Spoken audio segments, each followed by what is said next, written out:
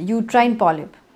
Uterine polyp एक ऐसी समस्या है जो साधारणतः आमतर जो महिलाएँ आती हैं ओपीडी में, उनमें से 100 में से लगभग आप 20 प्रतिशत औरतों में देखोगे कि यूट्राइन पॉलिप है।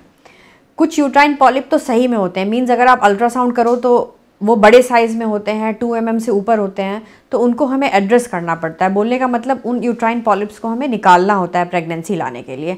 अगर उन्हें हम नहीं निकालें तो अगर हम आईवीएफ कर रहे हैं तो इम्प्लांटेशन नहीं होता है। अगर किसी भी तरह से प्रेगनेंसी आ भी गई तो एबॉर्शन होने के चांसेस हाई रहते हैं। जो फाइव एम mm से बड़े पॉलिप्स होते हैं, उनको रियली एक्सरसाइज करने की ज़रूरत होती है। अब इनमें पॉलिप्स की तरह तरह के वेराइटीज़ होते हैं। कुछ पॉलिप्स ऐसे होते हैं, जब हम अल्ट्रासाउंड करते हैं तो हमें ऐसी थिकनिंग दिखती है। लेकिन वो एक्चुअल पॉलिप नहीं होते हैं। वो जब पेशेंट फिर से ब्लीड करता है तो वो पॉलिप्स चले जाते हैं। कुछ पॉलिप्स ट्रू पॉलिप्स होते हैं, जिसमें कि साइज़ बड़ी होती है और वो पॉलिप्स कभी कभी फीडिंग फॉलिकल्स होते हैं पॉलिप्स होते हैं। मीन्स उनमें से ब्लड सप्लाई कभी कभी ऊपर से आती होती है। उस केस में हमें बहुत ही सतर्क रहना पड़ता है जब हम हिस्ट्रोस्कोपी करते हैं सो दैट पेशेंट ब्लीड नहीं करे बहुत ज़्यादा और किसी वजह से हमें यूट्रस में कुछ और स्टिचेज़ या कॉट्राइज नहीं करने पड़े। तो ये कुछ पॉलिप्स के टाइप हैं डिपेंडिंग अपॉन उनकी जो साइज़ होती है।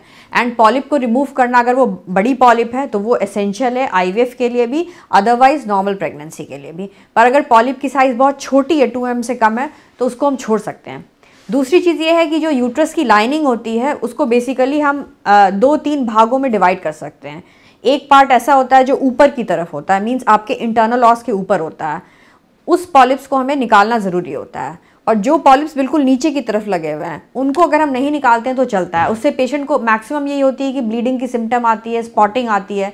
लेकिन उससे बेबी ठहरने में या अबॉर्शन के लिए ऐसी कोई इसमें रिस्पॉन्सिबिलिटी नहीं होती है। तो अगर पॉलिप्स आपके नीचे की तरफ़ पड़े हुए हैं तो उसमें कोई डरने की बात नहीं है। आप उसे अपने डॉक्टर के संपर्क करके आप उसे वैसे ही छोड़ सकते हैं। आपको यह जानकारी मैं इसलिए दे रही हूँ क्योंकि कभी भी अगर आपको आईवीएफ कराना पड़े तो आपको उसके बारे में सारी नॉलेज होनी चाहिए, जिससे कि आपको कभी कोई परेशानी नहीं हो। बने रहें हमारे साथ, हम रखें आपका ख्याल।